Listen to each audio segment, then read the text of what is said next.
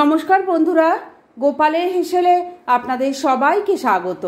আজকে আমি ভেজানো ছোলা দিয়ে দারুণ ইউনিক একটা নিরামিষ রেসিপি আপনাদের সাথে শেয়ার করব, যেটা ভাত, রুটি, পরোটার সাথে খেতে ভীষণ ভালো লাগবে। তাই চলুন আর কথা না বাড়িয়ে রান্নাটা শুরু করি। আজকে এই ভেজানো ছোলার রান্নাটা করার জন্য আমি এখানে এক কাপ পরিমাণ ছোলা নিয়েছি। এই ছোলাটা চার পাঁচ ঘণ্টা জলে ভেজানো ছিল। এবার জল থেকে ছেঁকে আমি একটা বাটির মধ্যে নিয়ে নিয়েছি। এবার মিক্সির ছোট জারটা নিয়ে নিয়েছি। এর মধ্যে আমি ভেজানো ছোলাগুলো দিয়ে দিচ্ছি। এর মধ্যে এবার দিয়ে দিচ্ছি ছোট ছোট দু টুকরো আদা। দিয়ে দিচ্ছি তিনটে কাঁচা পাকা লঙ্কা। আপনারা যদি এটা পেঁয়াজ রসুন দিয়ে খেতে পছন্দ করেন, তাহলে এখানে পেঁয়াজ আর কয়েক কোয়া রসুনও দিতে পারেন। এবার ছোলাটা বেটে নেব। তবে বাটার আগে এর মধ্যে পরিমাণ মতো জল দিতে হবে। বাটার জন্য যতটুকু জল দরকার, ঠিক ততটুকুই জল দেবেন। তার বেশি কিন্তু দিলে রান্নাটা করতে অসুবিধা হবে। তাহলে এটা আমি বেটে নিয়ে তারপর ফিরে আসছি। ভেজানো ছোলাটা আমি বেটে নিয়ে একটা স্মুথ পেস্ট তৈরি করে একটা বাটির মধ্যে রেখে দিয়েছি। এবার এই বাটিটাকে কিছুক্ষণের জন্য এক সাইডে রাখছি আর নেক্সট স্টেপের দিকে এগোচ্ছি। এবার এই রান্নাটার জন্য মশলা তৈরি করে নেব, সেজন্য মিক্সির ওই জারটা আবার নিয়ে নিয়েছি। এর মধ্যে দিয়ে দিচ্ছি দুটো কাঁচা লঙ্কা, ছোট ছোট চার টুকরো আদা, দিয়ে দিচ্ছি দুটো মিডিয়াম সাইজের টমেটোকে আমি টুকরো করে নিয়েছি, সেটা দিয়ে দিলাম। দিয়ে দিচ্ছি এক চামচ গোটা ধনে, এক চামচ গোটা জিরে দিয়ে দিলাম। এবার এর মধ্যে পরিমাণ মতো জল দিয়ে দিচ্ছি। এবার এটা বেটে নিয়ে একটা মিহি পেস্ট তৈরি করে ফিরে আসছি। মশলাটা তৈরি করে রেখে দিয়েছি, আর এবার মূল রান্নাটা করার জন্য কড়ায় তেল গরম করে নিয়েছি।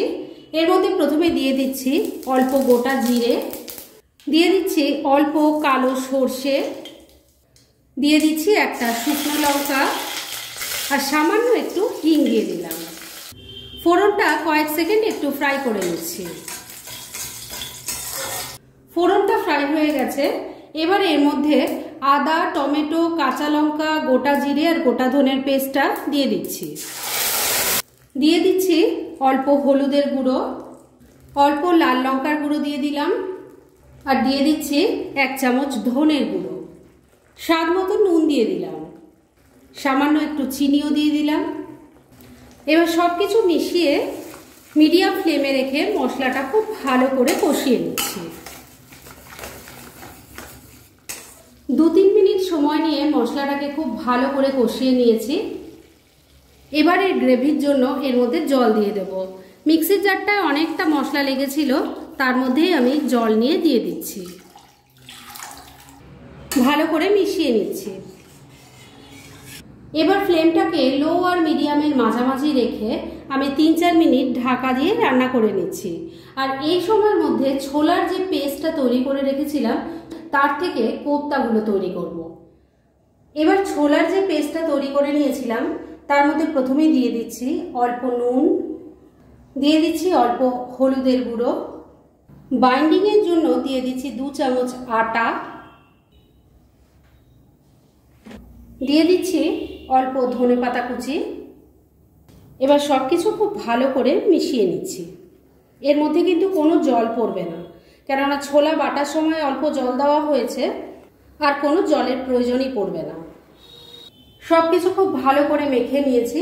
এবার এর থেকে আমি কোপ্তাগুলো তৈরি করে নেব। অল্প অল্প পোর্শন নিয়ে ভালো করে হাতে চেপে চেপে আমি কোপ্তাগুলো তৈরি করে নিচ্ছি। আমি এরকম লম্বাটে শেপের করছি, তবে আপনারা চাইলে এটা মুঠিয়া শেপে করতে পারেন বা গোল গোলও করে নিতে পারেন। সমস্ত কোপ্তাগুলো তৈরি করে নিয়েছি। এদিকে ঝোলটা দেখুন, ভালো করে ফুটে উঠেছে। এবার কোপ্তাগুলো আমি ঝোলের মধ্যে ছেড়ে দিচ্ছি।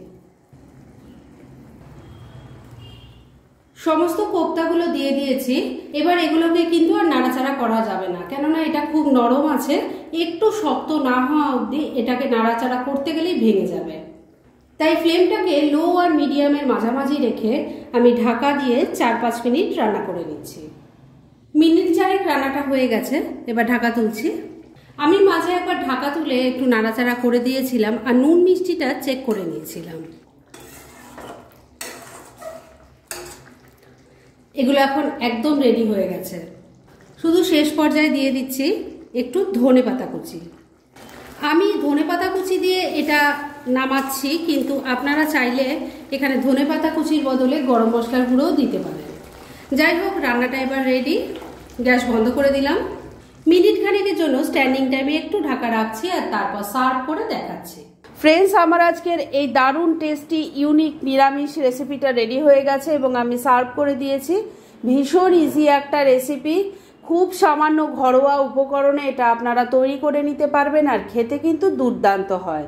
তাই আমার আজকের এই রেসিপিটা দেখে অবশ্যই একদিন বাড়িতে ট্রাই করুন আর তারপর কেমন লাগল সেটা প্লিজ আমাকে কমেন্ট করে জানাবেন। এরম ধরনের অনেক ভালো ভালো নিরামিষ রান্নার রেসিপি আপনারা গোপালের হেসে সার্চ করলেই পেয়ে যাবেন। যার মধ্যে থেকে কিছু কিছু আমি সাজেস্টেড বক্সেও দিয়ে দেব, সেখান থেকেও আপনারা দেখে নিতে পারেন। তাই গোপালের হেসেল অবশ্যই ভিজিট করুন।